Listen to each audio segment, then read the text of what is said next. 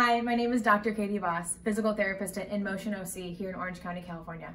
I'm here today to talk to you about knee arthroscopic surgery. This is a surgery that allows doctors to view the knee joint without making large incisions or cuts into the knee joint and soft tissue. The doctor uses this to treat and diagnose a wide range of knee issues, uh, stemming from meniscus or maybe removing some synovial tissue that's irritated or cartilage. Sometimes after a knee uh, procedure like this, the knee can get kind of stiff and swollen. And times, physical therapy is necessary to allow for improved range of motion, strength, and function of the knee. I'm gonna show you a few things that you can do to make sure that your knee doesn't get too stiff. First is called a heel slide. You're going to position yourself on a mat or a bed with a strap. Secure it around your ankle here and hold on to the end. You can use a dog leash or a thick rope if you don't have one of these straps at home. You're gonna lay down on your back.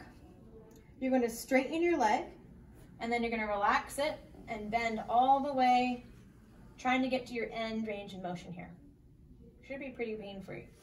Straighten and use that strap to kind of give you that extra range at the end. Performing this a few times, a couple times a day. You're then going to attach the strap to your leg. We're gonna stretch the tissue that runs along the top side of our knee. This can be very important because it sometimes causes compression um, onto the knee. So we're gonna stretch it, okay? So you're going to attach the strap there, flip over onto your stomach, bring the strap across your shoulder, relax your knee, and gently use the strap to assist to get a lot great knee bending. You're gonna wanna hold this stretch for about 30 seconds to a minute, a couple times through. Okay. The third thing that you can do is specific to the kneecap. This is the bone that lies along the top side of your knee. You're gonna put place your hands on the sides of your kneecap here, and you're gonna gently push the kneecap to the outside and to the inside. Never pushing too hard to cause pain. You're just looking for some good mobility side to side.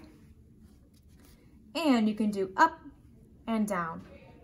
Kneecap mobility is vital in any kind of knee function and all your daily activities.